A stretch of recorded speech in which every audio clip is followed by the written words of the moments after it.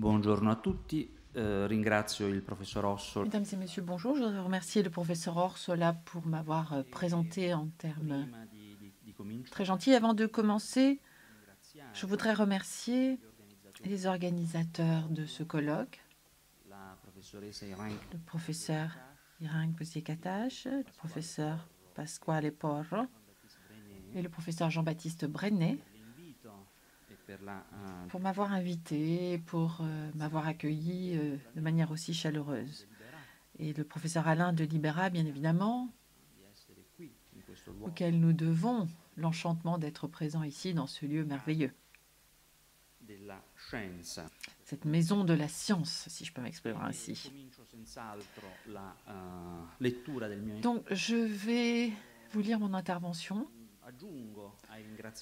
Et d'ailleurs, je voudrais ajouter au remerciement que j'ai déjà fait un remerciement pour euh, le public qui est venu et qui aura la gentillesse et la patience d'écouter ma présentation en italien. Cela dit, une traduction de mon intervention en français est disponible, donc si certains d'entre vous sont intéressés, je crois qu'à la sortie, on pourra vous la donner assez facilement. l'ascrizione di Donna me prega, la solenne Le fait de reverser la Donna me prega, la difficile et solennelle chanson de Guido Cavalcanti sur la nature de l'amour au domaine théorique de l'avéroïsme, ce qu'a proposé Bruno Nardi dans un mémorable article de 1940, l'avéroïsme del primo amico di Dante, l'avéroïsme du premier ami de Dante, et qui est depuis généralement admis par les spécialistes, fait partie du genre de proposition historiographique capable de bouleverser radicalement notre perception d'un phénomène donné. Suite à la proposition de Nardi, un des ch- chapitres les plus fascinants et d'ailleurs les plus compliqués, embrouillés de l'histoire littéraire italienne du XIIIe siècle, je veux parler du chapitre qui a trait aux relations entre Dante et Cavalcanti, a dû être réécrit de fond en comble. Cette découverte a en effet permis aux savants non seulement de donner un contenu philosophique précis, en fait en l'affiliant à l'avéroïsme, à ce que l'on appelait jusqu'alors de manière très générale la mécréance de Guido, attestée dès le XIVe siècle, voir les témoignages de Villari ou Boccaccio. Il y a la fameuse nouvelle Cavalcantiana, et d'éclaircir le contexte doctrinal où s'inscrit la représentation douloureuse et anxieuse de l'amour que l'on voit émerger de sa poésie. Pas seulement cela, mais également de résoudre enfin l'énigme de la discorde que l'on voit apparaître à partir d'un certain moment entre Dante et son premier ami d'alors, euh, à qui, rappelons-le, est destinée la Vita Nuova. Si l'existence de cette discorde est attestée par des traces documentaires peu nombreuses, certes, mais parfaitement explicites, jusque dans le champ 10 de l'enfer, nous ignorons en revanche tout de son essence, l'insistance pour jouer sur une distinction chère aux médiévistes. En effet, les mêmes documents qui nous disent qu'une crise est survenue dans leur amitié n'évoquent les raisons de cette crise qu'avec une certaine réticence. C'est le cas, par exemple, du sonnet de Cavalcanti adressé à Dante. Divegno il giorno infinite volte,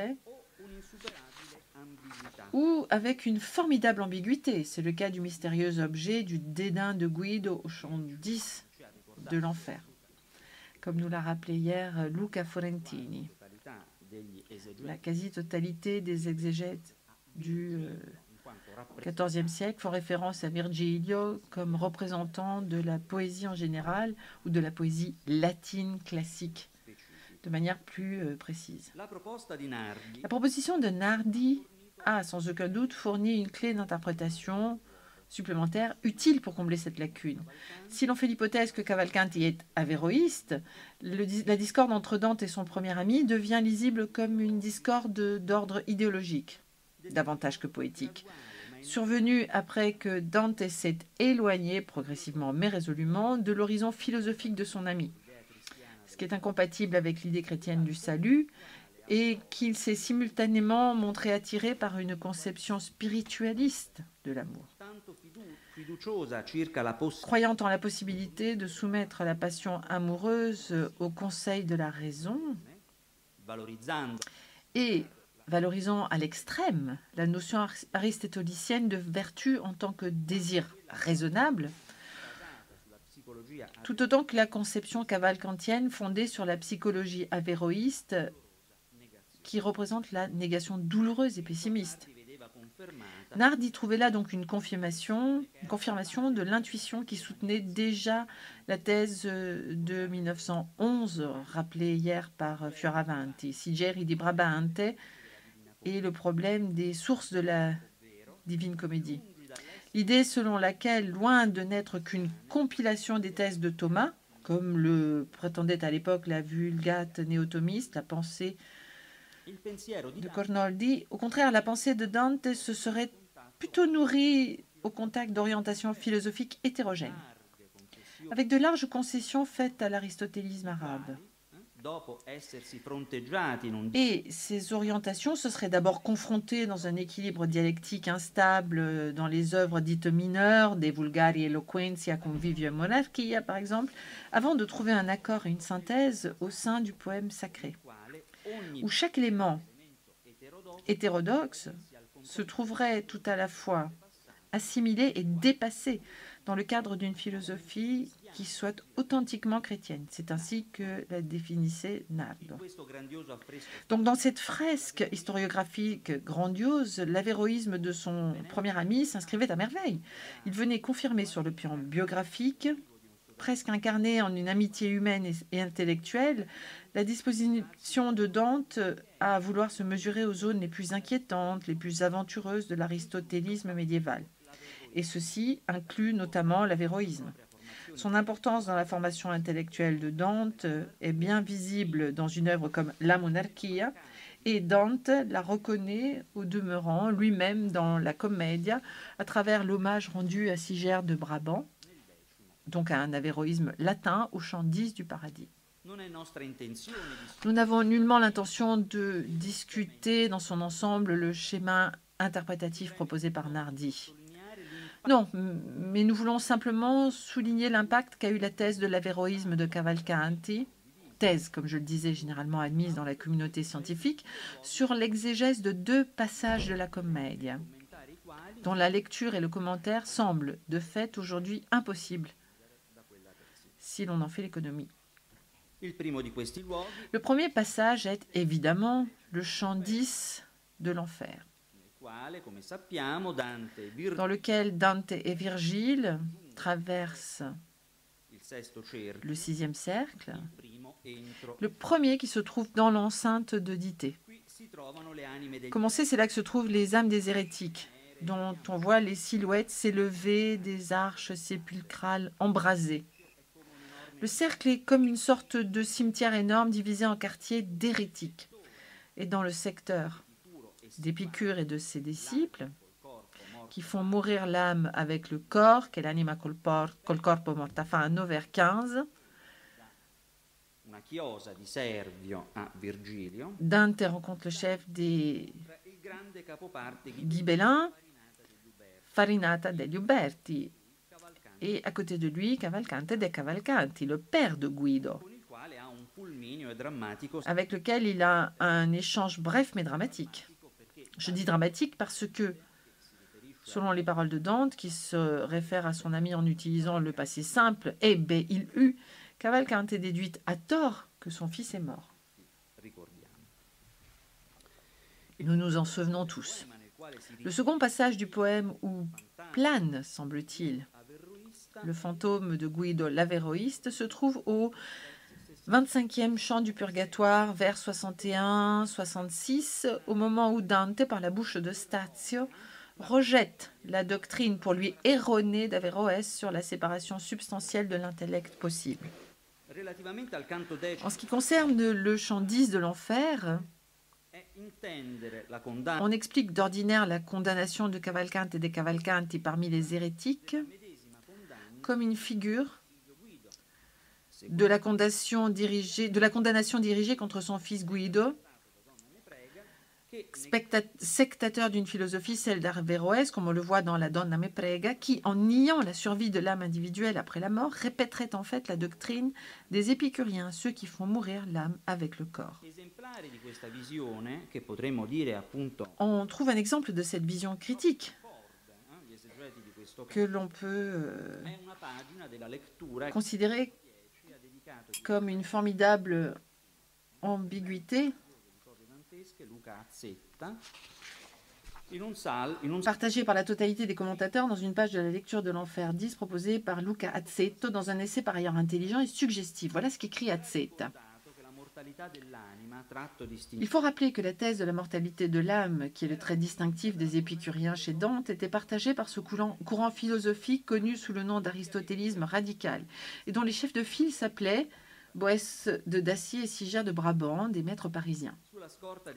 Dans le sillage d'Averroès, il soutenait l'existence d'un intellect possible, substance séparée, universelle et unique pour toute l'espèce humaine. Il niait par conséquent l'immortalité de l'âme individuelle. D'individuel, il n'y avait plus pour eux que l'âme sensible, forme et perfection du corps destinée de même coup à mourir avec lui. Quand l'aristotélisme radical se vit condamné le 7 mars 1277 par l'évêque de Paris, Étienne Tempier, figurait parmi les 219 propositions jugées hétérodoxes, celle-ci, quod non est curandum de sepultura, quod anima separata nullo modo patitur abigne, à la lumière de cette condamnation, qui impliquait la philosophie à laquelle avait adhéré Guido Cavalcanti avec sa chanson doctrinale Donna me prega, et qui, à un moment donné de sa vie euh, fascinante également, la punition du sépulcre et des flammes affligées aux héréstiques et surtout aux épicuriens, dont l'opinion coïncide avec celle des avéroïstes. Et ça, c'est un point qu'il faudra garder à l'esprit parce que c'est un point important, je reviendrai brièvement là-dessus, se charge d'une signification supplémentaire et montre comment le débat philosophique centré spécifiquement sur les thèses de l'aristotélisme radical devait influencer l'imaginaire dantesque dans la création de ce cimetière infernal. Fin de la citation. Il serait sans intérêt aujourd'hui de relever les inexactitudes de ce passage il vaut mieux en comprendre le message essentiel. En plaçant Cavalcante et des Cavalcanti parmi les tombes enflammées des épicuriens, Dante, selon Azzetta, mais en l'occurrence, il ne fait que répéter une opinion courante, a voulu suggérer que la même condamnation attendait, après sa mort, qui survint en août 1300, son fils Guido, pour avoir adhéré à une secte philosophique, l'avéroïsme, qui, comme l'épicurisme, nie l'immortalité de l'âme. En somme, une fois que l'on a projeté sur Cavalcante l'ombre de Guido et sur l'épicurisme celle de l'avéroïsme, et qu'en même temps on assume la lecture de Nardi du Donna me prega, on voit prendre corps sous nos yeux ce qui, à première vue, dans le texte, ne se trouvait pas. Je veux dire la réprobation morale et le jugement divin qui en découle de l'avéroïsme de son ancien ami. On trouverait une réprobation analogue au vers 61 et suivant du chant 25 du Purgatoire, parmi lesquels Stazio définit la position erronée d'Averroès sur la séparation substantielle de l'intellect possible ce qui donnerait à Dante l'occasion de recommencer à polémiser, à polémiquer, mais cette fois-ci de manière implicite avec l'odeur de Donna me prega. Ma come d'animal divegna fante, non vedi tu ancor questo a tal punto che più savio di te fe già errante, sicché per sua dottrina fe giunto dall'anima il possibile intelletto, perché da lui non vide, perché da lui non vide organo assunto. Donc, euh, ce que l'on a entendu hier dans une présentation.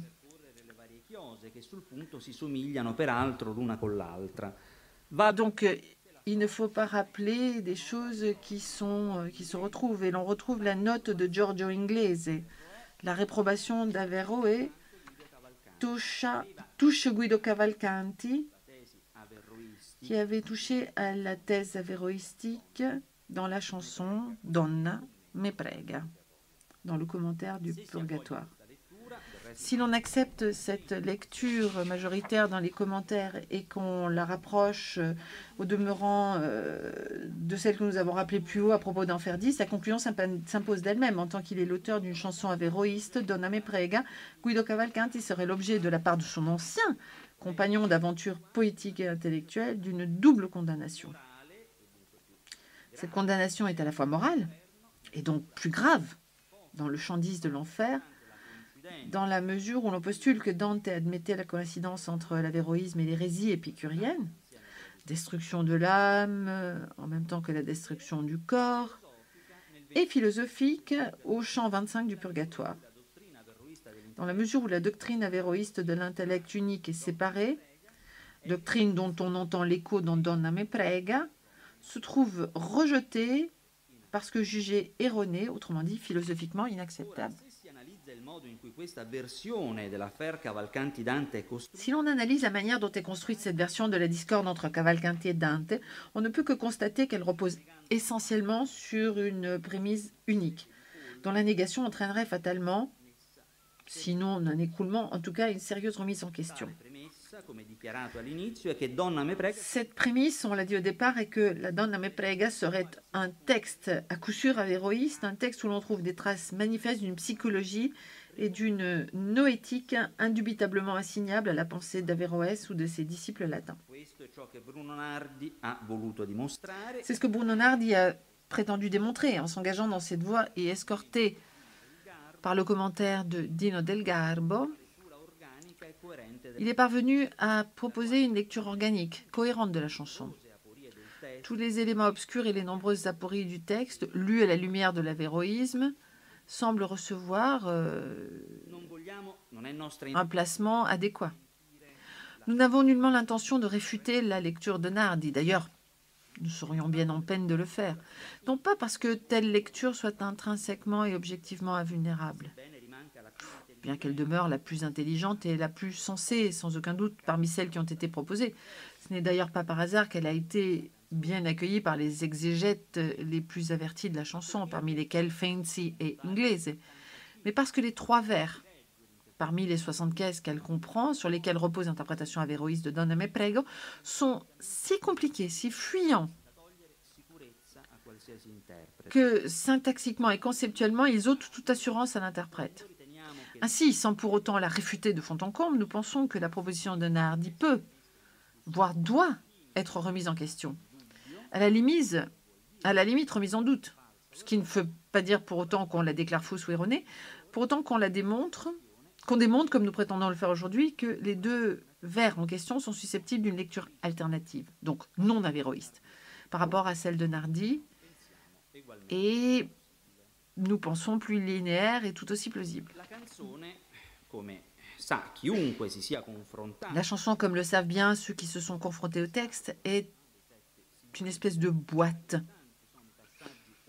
Tant sont, les, tant nombreux, tant sont nombreux les passages incertains, énigmatiques, obscurs, à cause des incertitudes quant à l'établissement du texte, que rencontre le lecteur. Donc, sans nous arrêter sur le reste, allons directement au vers 29 et 31, dont l'interprétation est décisive si l'on veut déchiffrer euh, l'articulation philosophique fondamentale sur laquelle est construite la structure doctrinale de la chanson. Au-delà de ce passage, la chanson se contente de répercuter, pour l'essentiel, bien que sous une forme souvent tortueuse et elliptique, les notions communes de la science médicale de l'époque pour ce qui concerne l'étiologie de la passion amoureuse et les effets qu'elle provoque sur les amants, ou de la psychologie aristotélienne, irréductibilité de l'intellect au sang, quand elle ne se réduit pas rhétoriquement à la répétition de pur et simple lieu commun de la poésie et de l'amour courtois, tel par exemple que le lien traditionnel affirmé au vers 70 entre les peines d'amour et les merches. Cela étant dit, disons les trois vers, qui sont censés contenir la profession de foi avéroïste de Guido, les vers par lesquels s'ouvre la troisième strophe de la chanson, que vous avez reproduite. Je fais référence à l'édition de Inglese, bien que dans ce cas précis, il n'y ait ni variante ni controverse philologique entre les différents manuscrits. Si bien que le texte est en fait le même dans les différentes éditions, à quelques différences près euh, en matière de ponctuation. Non è virtute, ma da quella vene che perfezione se pone tale, non razionale, ma che sente, dico. Les trois vers répondent à la troisième des questions de l'amour, auxquelles Cavalcanti s'est engagé à répondre dans la première strophe de la chanson, à savoir quelle est la vertu de l'amour, quelle sia sua virtute, vers 11. Cavalcanti présente un petit peu ce qu'il va aborder. À cette interrogation, Guido répond par un subtil jeu de mots. L'amour, dit-il, n'est pas une vertu, c'est-à-dire qu'il n'est pas une faculté. Et néanmoins, bien qu'il ne soit pas une vertu au sens où il n'est pas le principe d'une opération, il procède d'une vertu. Ma da il en vient. C'est ce qu'il dit au vers 29 dont le sens est assez clair. Guido nous dit, en résumé, que l'amour n'est pas une vertu particulière ou une faculté de l'âme. Selon la paraphrase pertinente de Feinsi, bien qu'il soit le produit d'une vertu ou d'une faculté de l'âme. Par contre, la signification des vers 30 et 31 est plus obscure euh, et sujet à controverse. Ce n'est pas un, hasard que ce soit dans les replis de cette obscurité que la thèse de l'avéroïsme de Guido ait pris corps. Alors, dans l'ordre, les vers 30 et 31 définissent la vertu dont l'amour procède par une périphrase qui, hélas, complique les choses au lieu de les éclaircir. La vertu en question, affirme Guido, est perfezione che se pone tale, non razionale, ma che sente dico. Voici comment je comprends cette phrase. Enfin, pour l'instant, je m'en tiens à une paraphrase pure et simple, bien qu'un peu étoffée des trois vers. Bien qu'il ne soit pas une faculté de l'âme, l'amour vient de cette faculté que l'on considère en général comme la plus haute, qu'est perfezione, parmi toutes les facultés de l'âme. Je ne fais pas référence à l'âme rationnelle. Je ne veux pas me référer à l'âme rationnelle dont les facultés supérieures sont l'intellect et la volonté, mais bien à l'âme sensitive. Oh, Alors, attention, veillons à être bien précis sur ce point. Cavalcanti nous dit que l'amour est le produit d'une vertu, c'est-à-dire d'une faculté de l'âme sensitive, et qu'il a son origine en elle et pas comme l'ont suggéré d'autres interprètes, que l'amour vient de l'âme sensitive. Il résume donc en disant que l'amour n'est pas une faculté de l'âme, mais qu'il vient de cette perfection qu'est l'âme sensitive. Le vers 29, qui répond à la question L'amour est-il ou pas une vertu de l'âme? est construit, comme on l'a dit, sur une sorte de jeu de mots. L'amour n'est pas une vertu, mais procède d'une vertu. Ce qui est bien évidemment exclu qu'on puisse le comprendre dans le sens inverse. Une fois qu'on a donné cette paraphrase du sens littéral des vers, il reste à comprendre quelle est concrètement la vertu ou la faculté à laquelle Cavalcanti fait référence. Et, ce que cela veut dire exactement lorsqu'il écrit que cette vertu, telle qu'on l'admet d'ordinaire, si pone, est une perfection non rationnelle mais qui sent, qui sente. Écartons les interprétations aberrantes, celles de Favati ou de Corti, superficielles et mal argumentées, celle de Papalardo et de Grimaldi, ou extravagante, Casella et Calcaterra. Nous n'avons d'ailleurs pas le temps d'en discuter, mais c'était intéressant d'en parler. Et concentrons-nous sur l'interprétation donnée par Nardi des deux vers, reprise par les meilleurs et les plus précis des commentateurs actuels de la chanson. Savona, Feinsi, le plus riche et le plus complet, et Inglese. Cette interprétation a eu sans aucun doute le mérite d'identifier correctement la faculté particulière à laquelle Cavalcanti fait allusion à travers la, périphrase que nous venons de citer. Cette vertu, selon Nardi, est celle de ce sens interne dont parlent les philosophes arabes que l'on nomme la viscogitativa, l'estimative dans les brutes, et qui représente le degré le plus élevé et le plus abstrait de la connaissance sensible, déterminée, dont l'homme est capable. Nardi parvient à cette conclusion à partir de deux éléments incontestables. Dans la seconde strophe de la chanson, Cavalcanti dit 1. que l'amour réside là où se trouve la mémoire. In quella parte dove sta memora prende suo stato, vers 14 et 15, c'est-à-dire dans l'âme sensitive.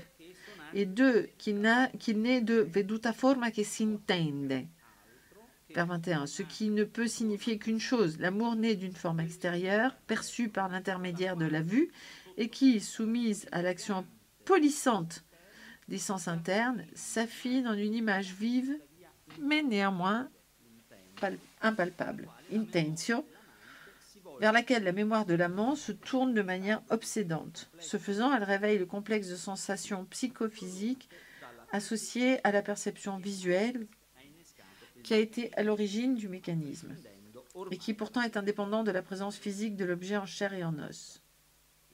La femme, dont cette image est la projection fantasmée, le fantasme. En effet, si l'on admet que l'amour est bien pour Cavalcanti, comme il le dit, un produit des sens internes et que comme tel, à son siège, prende suo stato dans l'âme sensitive, on ne voit pas bien à quelle autre faculté pourrait faire référence les vers 29-31, indiquant que c'est d'elle que l'amour découle, vene, si ce n'est la vertu cogitative à moins de comprendre par là, suivant une hypothèse de Nardi, le complexe des quatre sens internes, sens commun, mémoire, fantasia ou imagination, cogitative ou estimative, cette vertu que l'on considère traditionnellement comme surplombant toutes les autres facultés de l'âme sensitive. Alors, jusqu'ici, l'analyse on ne peut que tomber d'accord avec l'analyse de Nardi, l'identification de la vertute dont l'amour procède, bien que n'étant pas lui-même une vertute avec la cogitative des Arabes ou plus généralement avec l'un des sens internes, la fantasia, représente une contribution inestimable à l'intelligence de la chanson, qui plus est, d'un des passages les plus ardus et délicats. Nous serons en revanche plus réticents à accepter la conclusion que Nardi tire de cette identification, lorsqu'il y voit la preuve de l'adhésion de Guido à l'avéroïsme. Laissons la parole d'ailleurs à ce grand érudit qui, dans la Noterella polemica sull'averroismo di Guido Cavalcanti de 1954, un article encore plus précis par rapport à l'article sur l'avéroïsme du premier ami de Dante, a résumé en des termes limpides d'état de la question à l'occasion de la polémique qu'il opposait à Favati, pour Averroès, écrit Nardi, la forme et la perfection du corps humain et de l'homme est la cogitative ou l'intellect passif. Car peristum intellectum vocat Aristoteles passibilem differt homo ab aliis animalibus. Au contraire, l'intellect possible n'est neque corpus neque virtus in corpore, mais c'est une substance séparée, unique pour toute l'espèce humaine et la à laquelle elle s'unit dans l'acte de l'intelligence. Et ainsi, pour les avéroïstes du courant de Sugère de Brabant, l'âme rationnelle résulte de la composition de deux parties substantiellement distinctes. La première est la partie végétativo-sensitive appelée cogitative ou intellect passible. La seconde partie est l'intellect possible. La première est tirée de la puissance de la matière et est soumise à la génération et à la corruption. La seconde, au contraire, est ingérable, ingénérable et incorruptible. Elle est donc éternelle. La première est vraiment la forme substantielle et la perfection du corps humain.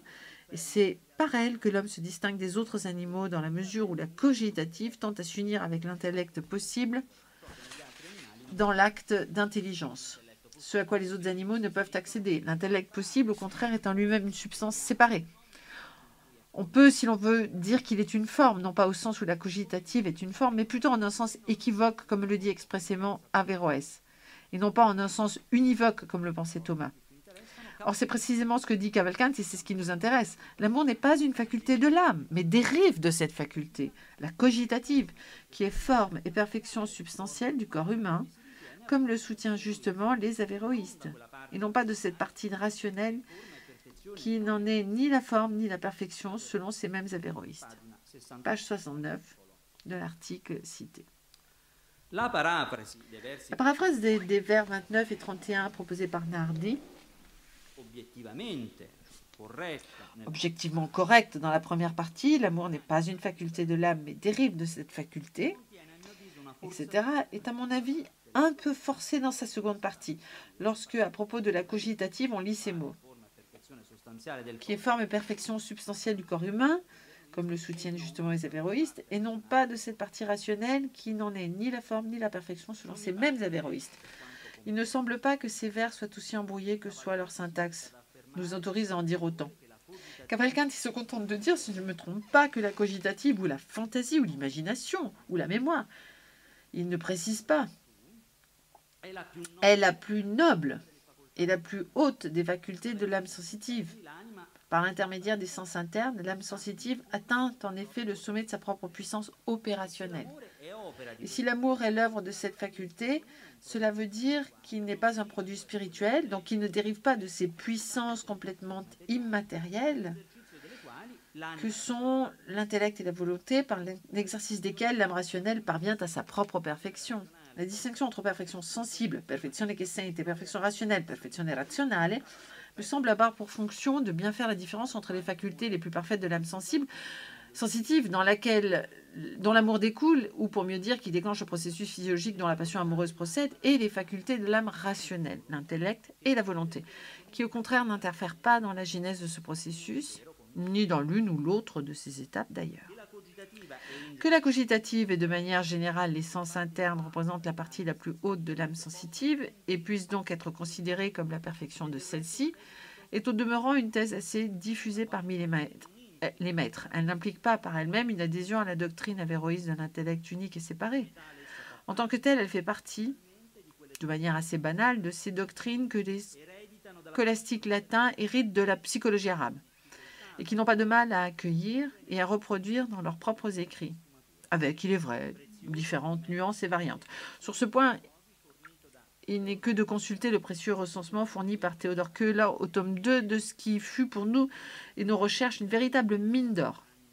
L'Homo Animal Nobilissum, dont j'extrais les exemples suivants que vous avez reproduits dans le texte, par exemple Riccardo Ruffo de Anima, Imaginatio quae est ultima virtus sensitiva magis terminata et magis perfecta. Adam de Bockfeld, Sententia super librum de anima, Imaginatio qui que est ultima virtus sensitiva perfectior est et magis determinata in nomine quam in aliis animalibus uga de San Vittore de unione spiritus et corporis. Vis imaginandi in tantum sublime est ut quid supra illud est aliud non sit quam ratio? Questiones de stopno e vigilanza de anonimo imaginativa est domina super omnes virtutes sensitiva. Ou bien un anonyme questione super de anima di un manoscritto di Oxford, sensitiva secundum aliquam sui... Sensitiva secundum aliquam... Eh, et suprema tamqua et collativa tamquam est apprensiva intentionem. Ou un autre anonyme sensitiva secundum aliquam sui potentiam saltim suprema in nomine attigit infimum intellectiva et les virtus sensitiva suprema in nomine virtus cogitativa. Donc on voit un distinct de ces petits maîtres souvent anonymes. Se lit la voix reconnaissable et puissante d'Albert Legrand qui, dans un passage du commentaire Dea Anima identifiant la fantaisie et la cogitative, affirme Fantasia autom apparitione dicta est quanium illa est maior conitio quam abet anima sensibilis et est ultimum virtutis eius et aeca vulgo in hominibus vocatur cogitativa, cum tamen proprie cogitare citationis, etc. Donc, euh, on a une cumulation de la puissance euh, sensitive de l'homme dont parle Thomas d'Aquin, comme ses prédécesseurs, et sur les traces d'Averroès à la vis cogitativa ou ratio particularis. Par exemple, Sententia Libri de Anima participa tali quid de vita intellettiva, eccetera. In tutti questi Et donc, dans tous ces textes, mais on pourrait en ajouter d'autres, on retrouve euh, peu ou prou le même enseignement, à savoir que la puissance sensitive de l'homme trouve sa perfection dans l'activité du sens interne, que certains maîtres identifient clairement à la fantasia ou à l'imagination, d'autres à la cogitative, ou d'autres encore, et c'est le cas d'Albert, comme on l'a vu, préfèrent ne pas distinguer entre ces deux sens, entre lesquels ils ne voient qu'une différence purement terminologique. Mais chez aucun de ces maîtres, la référence euh, à cette doctrine d'origine arabe n'implique la moindre adhésion à la thèse avéroïste selon laquelle la cogitative serait forme et perfection substantielle du corps humain. Pour eux, la cogitative, ou disons la fantaisie, si on veut l'appeler ainsi, représente seulement le degré le plus élevé de la puissance sensitive, si bien qu'une telle perfection ne nie ni ne contredit l'existence d'une perfection supérieure. La perfection de la raison, réalisée à travers les opérations de l'intellect et de la volonté. Rien ne s'oppose à ce que l'on interprète également de cette manière le sens des trois vers de Cavalcanti, qui par conséquent, se bornant à faire référence à une doctrine largement diffusée parmi les maîtres, n'aurait plus rien de spécifiquement avéroïste. Donc pour tordre leur sens dans cette direction, Nardi se trouve obligé de supposer que les deux perfections dont parle Cavalcanti, la perfection qui sent, che sente la perfezione razionale, font référence respectivement à la perfection authentique de l'individu, la cogitative, qui est une forme substantielle du composé, et à la perfection de l'homme au sens équivoque, c'est-à-dire l'intellect, qui donc n'est pas la perfection de l'individu. Mais dès lors, il introduit une distinction technique qui ne se trouve pas On peut éviter de forcer ainsi le texte tout en conservant le sens général de la chanson et en maintenant l'identification proposée par Nardi entre la perfezione che sente et la cogitative avec avec ou un ou un autre des sens internes, simplement en tenant à l'explication plus linéaire que nous avons suggérée à partir des passages cités. Non è virtute, ma da quella vene che è perfezione che si pone tale, non razionale, ma che sente, dico. Donc à la lumière de ce que nous venons de dire, voici que ce que pourraient signifier ces vers. L'amour n'est pas une vertu de l'âme, et pourtant elle dérive de cette vertu, la cogitative ou la fantasia, qui est et que l'on considère généralement comme la perfection de notre puissance. Non pas de la puissance rationnelle, mais de la puissance sensitive.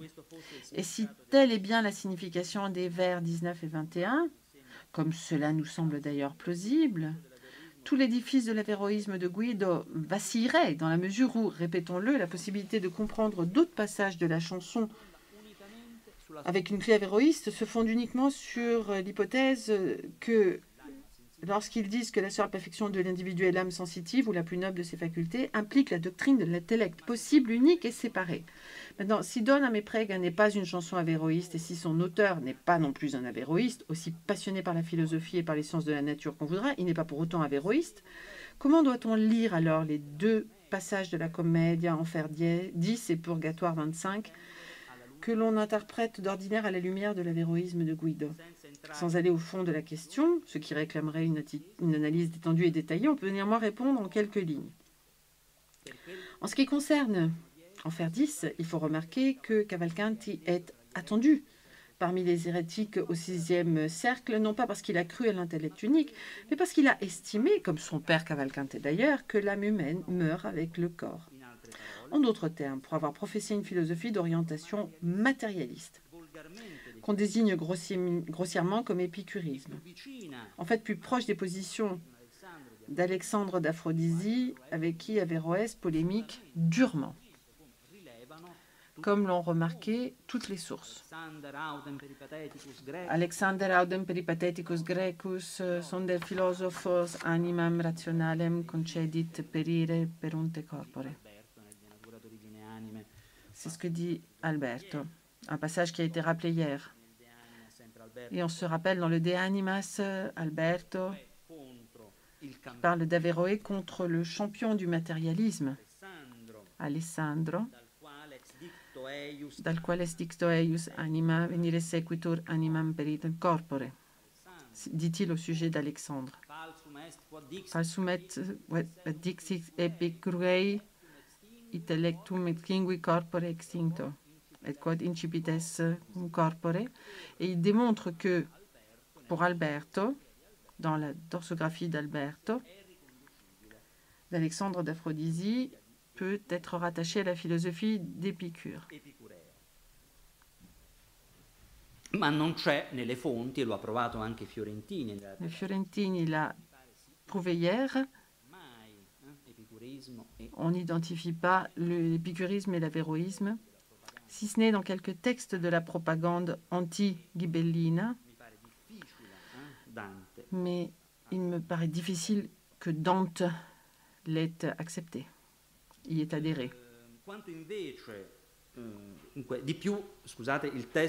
Le texte ne dit ni n'autorise à dire plus que cela. C'est peu, mais cela suffit pour donner une idée aussi vague soit-elle de la distance intellectuelle qui à un certain moment devait séparer Dante de celui qui fut son ami. Quant à la réprobation de la doctrine avéroïste de l'intellect au champ 25 du purgatoire, il faut la considérer à sa juste valeur. Elle déclare Fort respectueusement, fort Averroès est appelé sage par Stats, et n'oublions pas qu'il figure avec Aristote parmi les autres savants, parmi les grands esprits des larmes. Que cette thèse, donc la déclaration que cette thèse philosophique n'est pas conforme à la vérité. Cette polémique n'impliquerait donc pas la chanson de Guido, bien que si notre construction est correcte, bien qu'elle s'y trouve pourtant bien souvent mêlée par les exégètes des trois vers. Nombreux sont ceux qui ont cru déceler dans l'expression possible intellecto du vers 65 une citation explicite du vers 22 de la chanson de Cavalcanti, qui prende nel possibile intelletto. Ce serait discutable parce que l'expression possible intelletto est nécessaire dans les deux contextes. Il n'y a aucune conjonction entre les textes. La